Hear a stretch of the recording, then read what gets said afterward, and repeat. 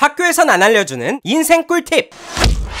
입시덕 후! 인생 꿀팁 궁금한 친구들 주제 추천해줘라. 오늘은 학교에선 절대 가르쳐주지 않는 인생 꿀팁을 오케이. 가져왔습니다. 빠밤 20대부터 50대까지 각각 5명씩 선정하여 직접 인터뷰를 진행했는데요. 학창시절에 이런 걸 알았으면 더 좋았을 텐데 싶은 것들과 지금의 학생들에게 해주고 싶은 말 등을 질문하고 그 답변 내용을 정리해왔습니다. 각각의 캐릭터들과 함께할 예정이니 어? 나 갓생 살기 도전하려고 했는데 하는 친구들은 영상 끝까지 봐라. 후! 연령대별로 내용 쭉쭉 들어갑니다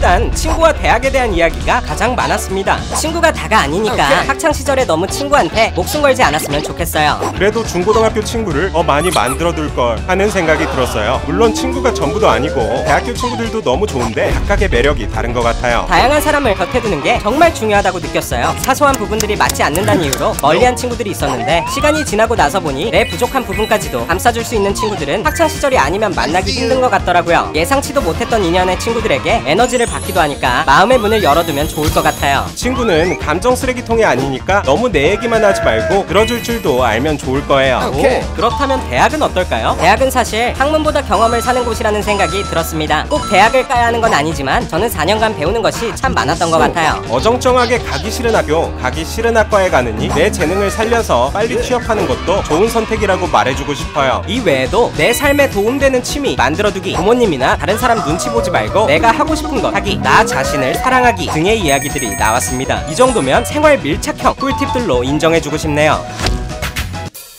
다음은 30살 이상 직장생활 경험이 있는 분들의 의견을 모아봤습니다. 10대는 정말 영한 나이인 것 같아요. 그러니까 실수하더라도 우린 아직 어리니까 실수할 수도 있지 하면서 다음부터는 안 그러기 위해 스스로를 돌아보면 좋을 것 같아요. 공부를 열심히 하자. 너무 뻔한 말일 수 있지만 좋은 대학을 가기 위해서 가기보다는 무언가를 얻기 위해 열심히 노력했던 경험이 앞으로의 인생을 살아가는데 큰 도움이 되기 때문이에요. 계속 엉덩이를 붙이고 앉아 진득하게 노력해서 원하는 결과를 얻었을 때의 성취감이 인생을 살아가면서 실패를 하더라도 다시금 일어날 수 있게 해주는 원동력이 되더라고요. 기술을 배 워둡시다 이왕이면 나라를 가리지 않는 범용적인 기술이면 베스트 언제 어디서든 써먹기 좋으니까요 부모님의 사랑도 너무 당연하게 생각하지 마세요 지금은 부모님의 말이 이해되지 않더라도 나중에 후회할 만한 행동은 하지 말기 공부도 중요하지만 내가 좋아하는 걸 찾는 것도 중요한 것 같아요. 입시가 아닌 인생을 위한 폭넓은 공부를 하는 걸 추천합니다. 해외 견학이나 교환학생 등등. 기회가 주어진다면 겁먹지 말고 알차게 이용해 먹으려는 태도가 좋은 것 같아요. 에이, 안 되겠지. 하지 말고 꼭 스펙 목적이 아니더라도 열심히 참여해보기. 취업 전에 알바를 해보면 돈에 대한 생각이 바뀌는 것 같아요. 경험 삼아 해보는 걸 추천합니다. 30대는 본격적으로 커리어를 불태우는 분들이 많은 만큼 분야를 가리지 않는 꿀팁을 주셨네요.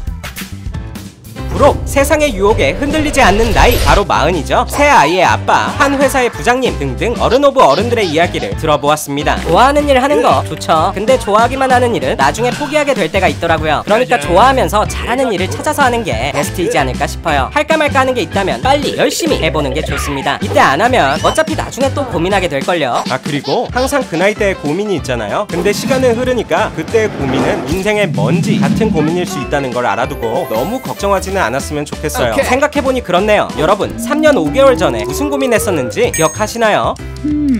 중고등학생 때 자세를 바르게 앉는 게 중요한 것 같습니다. 척추 수술 천만 원. 디스크는 남의 일이 아니에요. 이거 보는 너 당장 바른 자세. 오케이. 보고 50대라. 어쩌면 우리 후원들의 부모님보다도 많은 나이일 수 있겠는데요. 이전 연령층과 비슷비슷한 의견도 많이 나왔습니다. 내가 평생 즐겁게 할 수 있는 취미 갖기 내 재능 찾아서 잘 살리기 공부 진짜 열심히 하기 등은 전 세대 공통 의견인 것 같네요. 그 밖에 어른의 진한 관록이 느껴지는 의견도 있었습니다. 어차피 그때는 아무리 말해줘도 모르지 않을까 싶어요. 그러니까 현재를 즐기라고 해주고 싶습니다. 시간이. 지나면 할 수 없는 것들이 많으니 그 시절 그때에만 할 수 있는 것들을 다 해보는 게 좋습니다. 지금 안 하면 나중에 후회한다 네, 그렇다고 하네요. 저도 잘 참고해서 갓생 살아보겠습니다. 후! 평소와 다르게 인터뷰 좀 해봤는데 어땠나요? 좋았으면 댓글 많이 남겨줘라. 다음에 또 해줄게. 그럼 구독하시고 갓생 살아요, 여러분.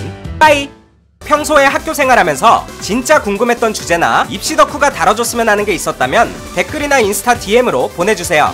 제가 빅데이터와 팩트로 무장해 알려드립니다.